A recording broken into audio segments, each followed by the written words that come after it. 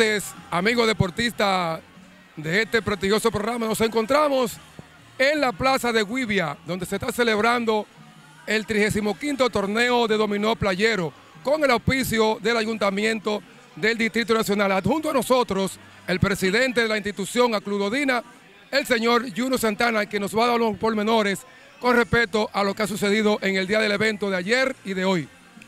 Buenas tardes, ¿qué le interesa saber? ¿Cuántos equipos participaron?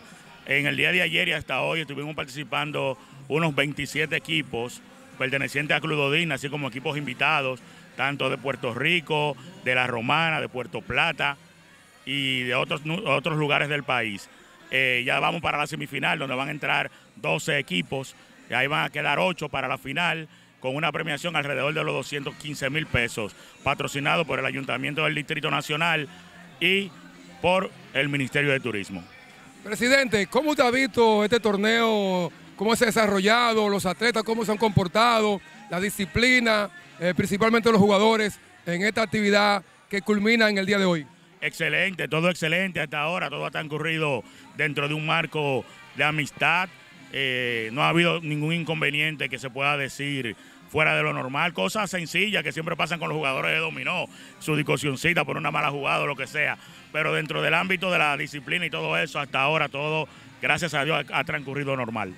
El trabajo de los jueces, de los directivos en este evento para, para el montaje de, de esta actividad, que usted sabe que se lleva un poco de trabajo, y hay que tener un material de personal disponible para que todo quede bien. Eso es así. Nosotros venimos trabajando en, el montaje de este evento hace alrededor de un mes, incansablemente, reuniéndonos dos y tres veces a la semana y para que las cosas salgan bien. Yo con mi equipo de directivos a, la cabeza y un grupo de colaboradores, eh, nos fuimos ayer de aquí alrededor de las 7 de la noche, llegamos a las 7, 6 y media de la mañana por ahí y nada, eh, para todo para que el atleta del dominó se sienta regocijado y se sienta bien aquí cuando vengan a participar de uno de nuestros torneos.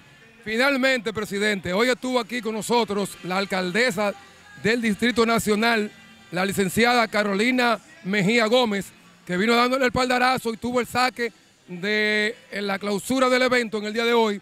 ¿Cómo usted se sintió? ¿Cómo se sintió la directiva y los atletas con esa presencia? No, excelentemente bien.